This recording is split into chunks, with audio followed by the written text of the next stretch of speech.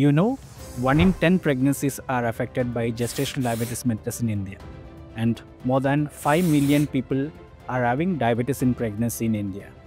Hi, I am Dr. Vipin VP, consultant endocrinologist. Today, we are going to discuss an important topic gestational diabetes mellitus and the importance of self monitoring of blood glucose in pregnancy. How frequently you should monitor your blood sugars in pregnancy? As per the RSSDI guidelines, you should check your blood sugars at least 4 times in a day. The fasting blood sugar, the 1 hour post breakfast blood sugar, 1 hour post lunch blood sugar, and 1 hour post dinner blood sugar. So, 4 times a day you should monitor your blood sugars in pregnancy. So what should be the targets?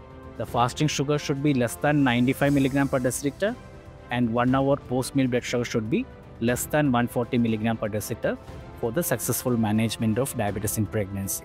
By monitoring the blood sugar values before and after meals, you are getting the profile of the patient which help the patient as well as doctor to manage the blood sugars well in pregnancy to prevent the complications such as the need for cesarean section as well as the postpartum infections. It is important to monitor the blood sugars after delivery also. So it should be monitored in the hospital for the first 48 hours. Then if it is normal, it should be monitored after 6 to 12 weeks of delivery. And if it is normal, it should be again monitored after one year to make sure that the patient is not having diabetes mellitus after delivery so that we can prevent the complications due to diabetes for them.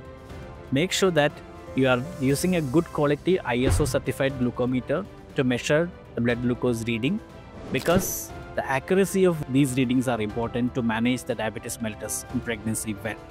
So remember, monitor your sugars, measure your blood sugar levels and manage your diabetes well for the successful outcome of the pregnancy.